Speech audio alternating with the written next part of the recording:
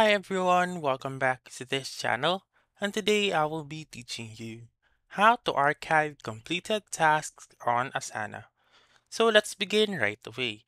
The very first step is to open your Chrome, Safari or any web browser that you want and then proceed to app.asana.com. Once you are here, simply sign in using your account. Once you've signed in, you may either go to My Task or you may also go to Project. So let's proceed first with My Task. Once you are here, once you can see the completed tasks like this one, you may archive them by clicking on All Tasks right here and then click on Incomplete Task Only. So, as you can see, the completed task has been removed or has been archived right here. Then let's go to the projects and then go to list.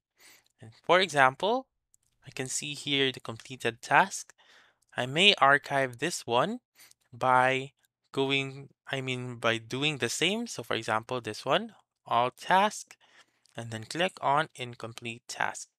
So as you can see, the completed task has now been archived. So that's it. That's how you can archive completed tasks on Asana. So that's all for this video. Let me know in the comments section if this works out for you.